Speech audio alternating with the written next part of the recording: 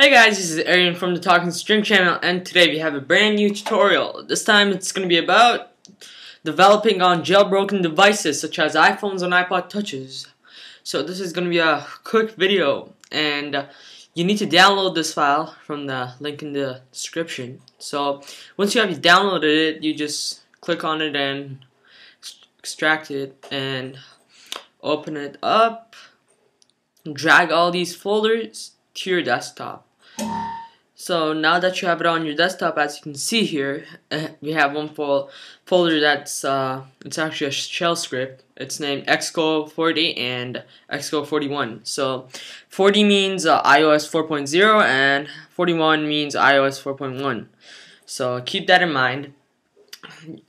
Keep that in mind because you want to know which one to enter later.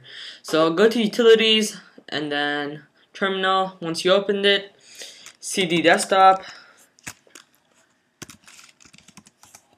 Once you're on your desktop, you're going to use a sudo command. So sudo uh, sh.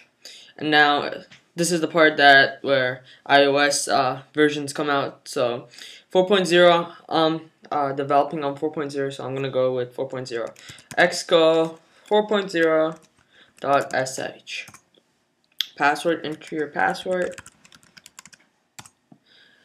Uh, it's doing this thing, and yep, you're done. Lemon Tea is done patching. Just restart Xcode, and you'll be on your way. So that's done. And now, one of the thing that it's missing right now is the iPhone patch. This folder needs to be uh, manually replaced, or actually copied to another folder. So run this uh, sh shell script with Xcode.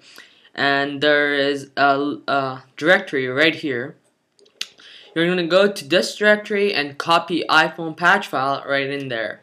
So nothing else. Don't change anything. Don't open it up. Just copy it there. And then you will end up with uh, let's just open up Xcode create a new project and as you can see we got iPhone patched it's basically the same thing with an iPhone OS application, but this is a user's template and iPhone patched. So, yep, thank you for watching this video and comment and subscribe and rate and stuff. Yeah, and happy developing. Thank you.